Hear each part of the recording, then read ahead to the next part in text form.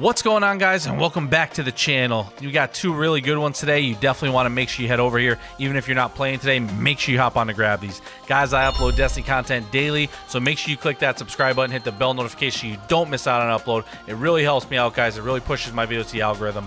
Even though Protective Light right here was nerfed, I still think it's very good. While Charger Light, you gain significant damage resistance against combatants when your enemies uh, shields are destroyed.